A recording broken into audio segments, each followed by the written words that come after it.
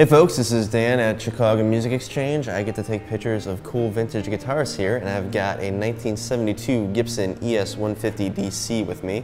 DC stands for double cutaway. Really clean for its age, neck feels great. Looks kind of like an ES-335 from the front, but you turn it around, it's got a real ass on it.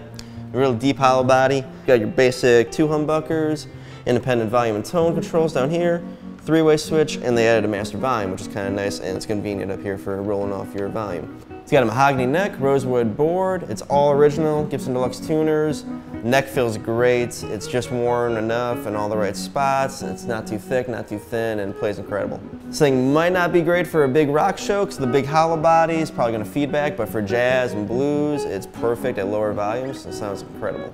Today I'm playing it through one of the Fender Princeton reverb reissues. We're going to plug it in, try a couple different pickup configurations, see how it sounds.